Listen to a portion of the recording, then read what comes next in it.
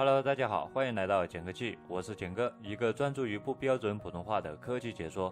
以前我为大家分享了微信如何设置双头像，只不过那个制作出来是黑白的。那么今天我就为大家分享如何制作彩色的双头像。这里我们需要三款应用，一个是剪辑工具，另一个是隐藏图，最后一个是手机端的 PS。这三款应用大家可以在应用商城下载，也可关注视频中同名微信公众号“简科技”，回复数字二二九即可获取。首先我们要准备大小一样的两张图片。如果没有，我们就要利用剪辑工具。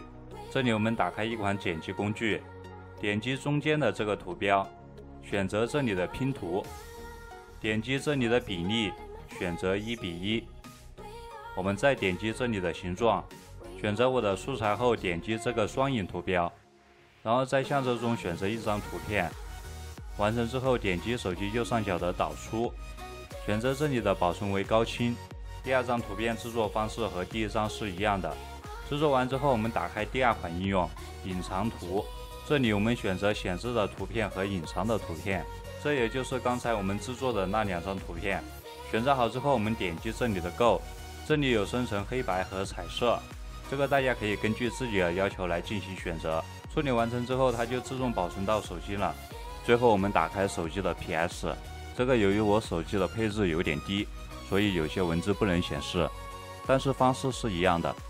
这里我们点击第一个新建一个文件夹，然后打开这个 B 字母开头的文件夹，选择刚才制作好的图片，点击添加，再点击手机右上角倒数第二个图标，选择这里的变换，再将这张图片调到百分之五十后拖到中间。制作完成之后，点击手机右下角的对勾，再点击左上角完成。